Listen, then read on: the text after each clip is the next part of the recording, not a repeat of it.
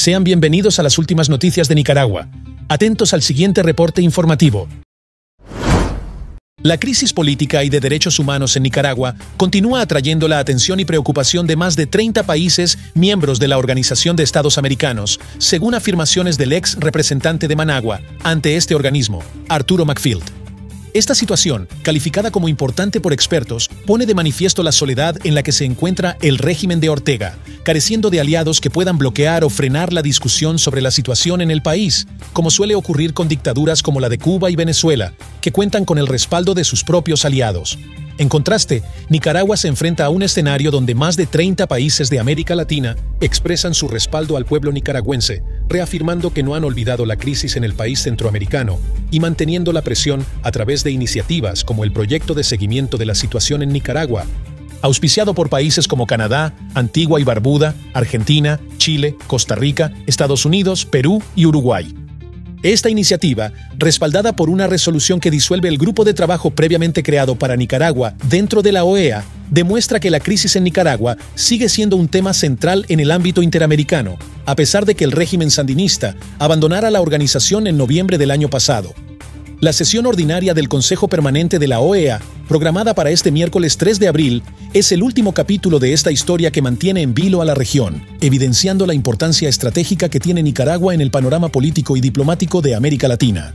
Más de 30 países miembros de la Organización de Estados Americanos siguen preocupados por la crisis política y de derechos humanos en Nicaragua, asegura el ex representante de Managua ante ese organismo Arturo Macfield lo cual debe ser considerado como importante. Ortega está solo y no tiene amigos. Generalmente cuando se convocan estas sesiones, en el caso de Cuba, la dictadura de Cuba y la dictadura de Venezuela, inmediatamente los amigos de Cuba y Venezuela bloquean todo y no se aborda el tema. No importa que hayan protestas en Cuba, no importa que se esté cocinando un fraude electoral en Venezuela, el tema no se toca porque estos países tienen amigos, tienen aliados. En el caso de Ortega no tiene amigos ni tiene aliados, está solitario. El denominado Proyecto Seguimiento de la Situación de Nicaragua fue convocado por Canadá y respaldado por Antigua y Barbuda, Argentina, Chile, Costa Rica, Estados Unidos, Perú y Uruguay. La dictadura sandinista de Daniel Ortega y Rosario Murillo ha tenido que dar marcha atrás en sus draconianas políticas que obligaban a los médicos residentes a servir al régimen durante una década, tras concluir sus especialidades, bajo amenaza de pagar una multa exorbitante de 2.2 millones de córdobas. Esta vergonzosa medida fue anulada mediante la resolución ministerial No 158-2024, que declara nulos todos los acuerdos y contratos firmados en el año en curso entre el Ministerio de Salud, MINSA, y los médicos residentes. Sin embargo, este giro en la política represiva del gobierno no ocurrió por voluntad propia, sino como respuesta a la presión y repudio público generado por la comunidad médica y la opinión nacional e internacional. La revocación de estas medidas coercitivas se formalizó durante la ceremonia de apertura de entrega de especialidades médicas quirúrgicas 2024-2028, un acto que, irónicamente, buscaba dar una imagen de progreso y compromiso con la salud, mientras se perpetuaban prácticas autoritarias y abusivas. Los dictadores Ortega y Murillo justificaron la derogación argumentando que los médicos, al culminar sus estudios, tienen la libertad de elegir dónde ejercer su profesión, ya sea en entidades estatales o privadas.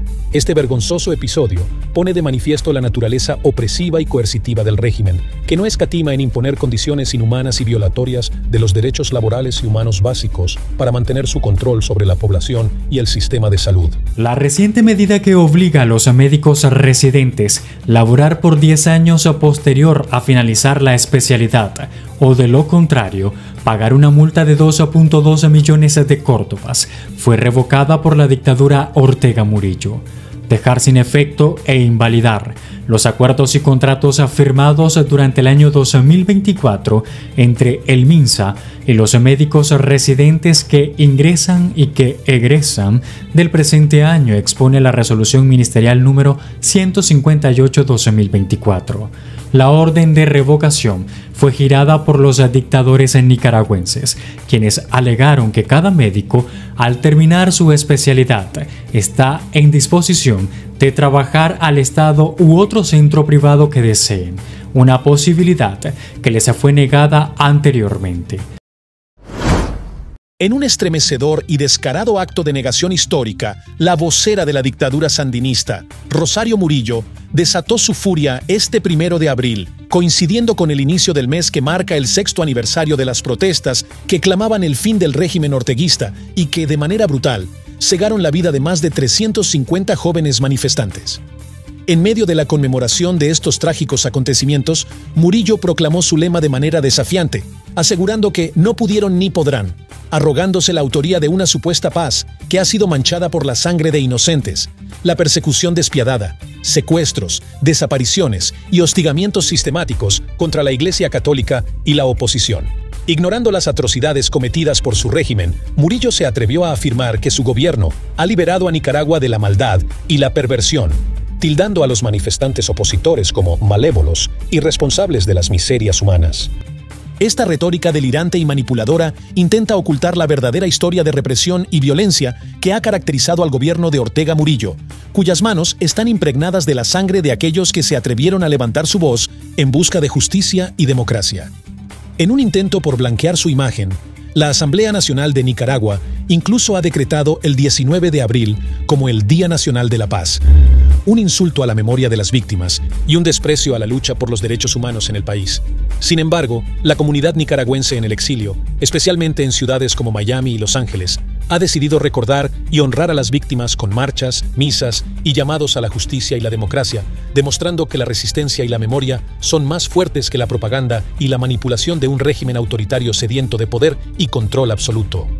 No podemos olvidar a quienes han querido destruir la patria. Este primero de abril, la vocera de la dictadura sandinista Rosario Murillo reaccionó furibunda en el primer día del mes en que se conmemora el sexto aniversario de las protestas antigubernamentales por exigir el fin del régimen orteguista que asesinó a más de 350 jóvenes manifestantes en el 2018.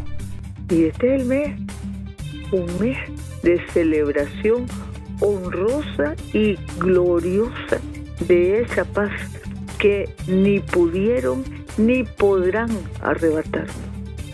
Celebramos en grande la paz, la paz que Dios nota, la paz por la que luchamos, la paz que reconquistamos frente a la maldad, a la perversión, a los malévolos, frente a la miseria humana. Se alzó la vida se alzó el Espíritu, se alzó la mano de Dios que dijo, basta, que dijo, basta.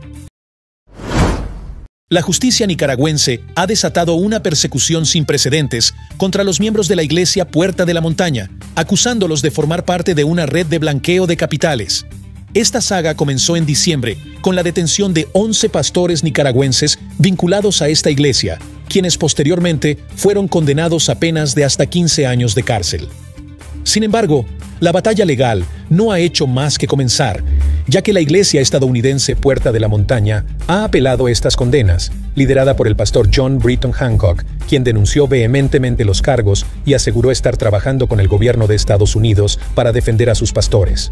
Las autoridades nicaragüenses, en una movida controversial, también han solicitado la captura del propio Hancock y de dos de sus familiares, acusándolos de fundar empresas privadas para recibir dinero de origen desconocido, el cual, según la Fiscalía, era desviado para beneficio personal en lugar de ser utilizado para los fines altruistas del Ministerio Puerta de la Montaña.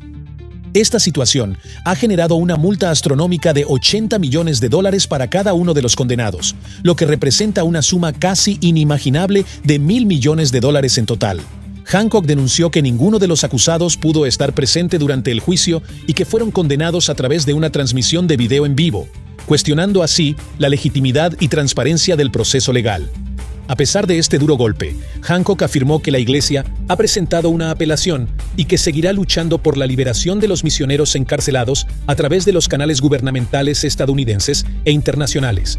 Con un tono de confianza en la justicia divina, Hancock concluyó que Dios tendrá la última palabra en esta batalla legal y moral que ha sacudido tanto a la comunidad religiosa como al sistema judicial de Nicaragua. La organización evangélica estadounidense Puerta de la Montaña rechazó la decisión de la Corte Suprema de Justicia de Nicaragua de sentenciar a 11 misioneros nicaragüenses a penas de entre 12 y 15 años de cárcel por el supuesto delito de lavado de dinero. John Britton, presidente de Puerta de la Montaña, explicó que el dinero que entró a Nicaragua por parte del Ministerio Evangélico fue legítimo. Son inocentes. El dinero llegó del Ministerio Puerta de la Montaña con sede en Estados Unidos. El gobierno de Nicaragua revisó cada dólar que ingresó al país. Ellos autorizaron cada una de las transferencias mensuales. El misionero estadounidense manifestó que ha solicitado ayuda al gobierno de su país para lograr la liberación de los 11 religiosos. Me he reunido con 10 senadores, 70 representantes y con el Departamento de Estado. Muchos están atentos, conocen el caso y están tratando de ayudarnos. Y este grupo está creciendo. Suscríbete a Nicaragua Hoy TV para que no te pierdas las últimas noticias más importantes. Déjanos tu opinión en la caja de comentarios y activa la campana de notificaciones. Nos vemos en el próximo reporte.